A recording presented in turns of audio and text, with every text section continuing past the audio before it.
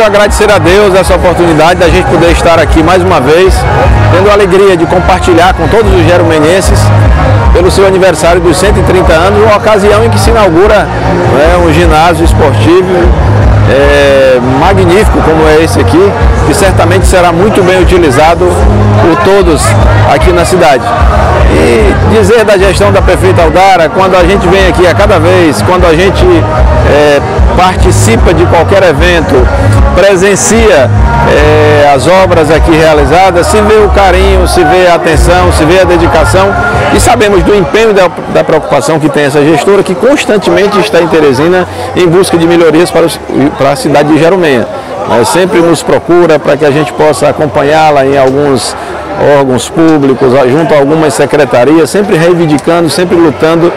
para que coisas melhores venham para a cidade de Jerumenha, venham para o povo dessa cidade.